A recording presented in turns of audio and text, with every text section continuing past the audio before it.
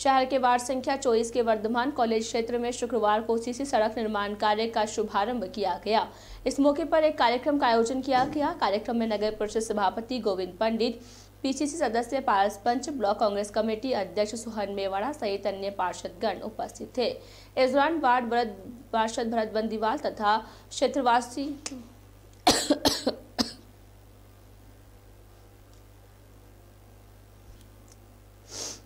Repeat.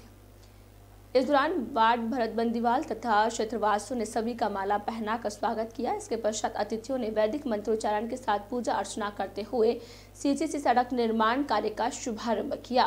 इस दौरान पार्षद राजेंद्र तुनगरिया रामनिवास सेन, राकेश साहू, जीवराज जावा, अजय स्वामी तथा वार्डवासी देवकरण शर्मा, राजेंद्र तुनगरिया, भैरूलाल सेन, मोहनलाल चौहान, अमरचंद सोनी, हरीश कुमार, उत्तम लोढ़ा, सुरेश गहलोत, गोपाल साकला, पुनाराम कुमावत सहित अन्य उपस्थित थे।